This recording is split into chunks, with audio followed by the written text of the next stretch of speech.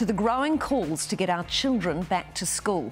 A number of principals are very concerned about their students falling behind and say they haven't got the support they've needed through the lockdown to keep kids up to speed. One of those principals is Glen Denham, who wants to get his pupils at Massey High back into the classroom. He's very passionate. He says level three has been a shambles for the students and for his school. Here's Tim Wilson. Normally, Massey High School is teeming with 1,700 students. Today, level 3 lockdown means there's just two working in the Assembly Hall. Principal Glen Denham wants to be able to bring some Year 12 and 13 students back. The principal saying that for every lost school week, it'll take seven to make up the difference. It's quiet here, but that quiet belies the chaos of level 3 for this school and others. The principal says Massey High has received fewer laptops than schools in wealthier areas and that direction from the Ministry of Education has been incoherent. Yet Principal Denham isn't sure Level 2 will fix any of these problems. And Massey High Principal Glen Denham's here now. Thank you so much for joining us, Glen. Tell us, how chaotic has Level 3 been for you?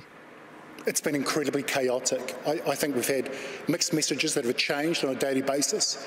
I think that one of the things too is, is the things with laptops. You know, we've got 83, we've asked for over 450.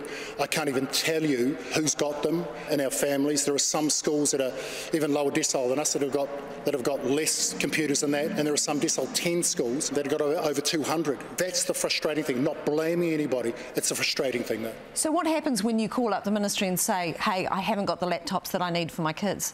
With the ministry, um, they're, they're, doing their best they can, but it's just not enough, you know. So this is what this is about. We need, as principals, trust us that we can deliver for our kids. We know which ones to bring back. We know which ones are in need, and we need to have that opportunity to engage with our um, with our whānau. You, Glen, what are you hearing from other schools? It's quite simple. Um, the, the, re the, resources aren't getting to where they needed to get to, and also that we're struggling to connect with our with our most at-risk kids. What do you want to hear from the Prime Minister tomorrow about level two? If the Prime Minister is listening right now, look, I thank you for your work. It's a hard job. I couldn't do it, you know, and on behalf of the nation, thank you. But trust us, let us help you uh, get our country back on our feet. Let us uh, be, have the ability to bring our kids in. Let's take the weight out of that community. I'm not talking about bringing a whole school back in. I'm talking about bringing the most vulnerable kids, particularly our year 12 and 13 kids. Allow us to work with them. We will abide by everything that Dr. Bloomfield and that um, you as the Prime Minister says. We've got no issue, let us help you. You've got a big job. We can support you as principals throughout this country by getting our kids moving again and getting the most at-risk ones. And my fear is if we don't, we will pay for this for generations. That's my fear, is that there'll be unemployment. Um, kids will be out working when they should be in school. Um, we just won't be able to recover from this, and we're at a real crossroads here. And we've done brilliantly well, but I'm asking the Prime Minister, trust us to help you, get alongside you, and support you in getting our country back onto its feet. Thank you so much, Glen. All the very best. Thanks, Hilary. Thanks, Jeremy. I appreciate it.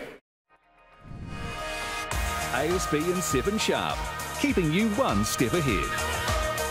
Wonderful high school, Massey High. Uh, schools are particularly desperate for guidelines on distancing in the classroom because if in level two kids are going back to school, and as Glen said, he doesn't want the whole school back, but years 12 and 13, if they could make that work, that would be fantastic. But they need a lead-in time, don't they? Because large classes do not sit a metre apart. So if the kids have got to sit a metre apart, they're going to have to split up classrooms and get teachers to teach half the class in one room, half the class in the other they need a lot of time to work that out. And what we're seeing, though, what they need in education is time, as you said, Hilary, and that's the same for all other industries as well. But the problem is because of we don't know quite where we're going, it's hard to, it's a rolling thing. It's just a, hard to be planning. It's hard for the government to be planning because they don't know what's happening next. Yeah, yeah. I, I think schools definitely do need some certainty, though, though and I'm uh, 100% behind Glen, didn't it? Wasn't it wonderful to see his passion?